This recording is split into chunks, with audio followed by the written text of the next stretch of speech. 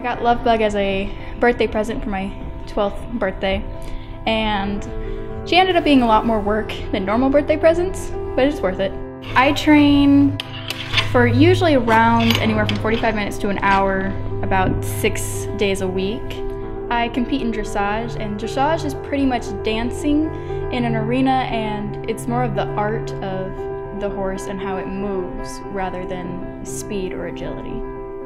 In August of last year, um, we started noticing that Bug was developing a cough. And the cough got more severe to the point that she was having exercise intolerance and um, became um, where she would not be able to finish a lesson.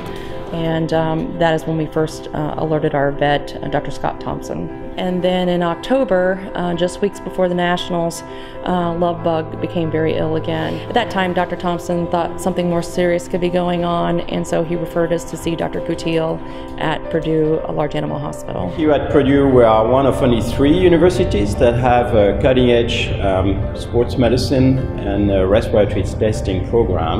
So, the most common injuries or diseases that we diagnose in our athletes would be uh, lameness first, and second would be a respiratory disease. So I guess Lovebug was really the perfect case to come here, uh, and so we could use our advanced testing, you know, and, and respiratory testing especially to uh, investigate while she was having a problem. We were able to diagnose her with a mild form of forced asthma, and uh, we recommended and put together a treatment plan and she, after the treatment was implemented, she stopped coughing within a week or so and was able to resume competition.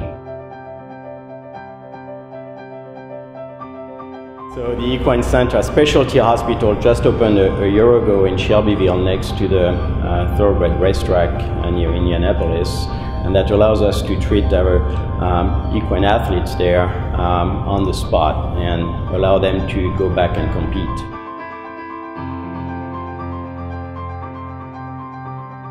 So we are very excited about the new equine hospital that's planned for 2020. Uh, this really will allow us to be ready to train the next generation of veterinarians and provide the best care possible.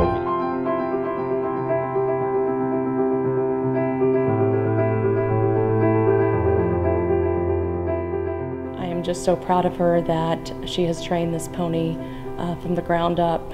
And I asked her one time, Would you like another horse that could, you could ride at a higher level? And she said, It's not about how the level I ride, it's about the journey with the pony. There. Here we go. Here we go.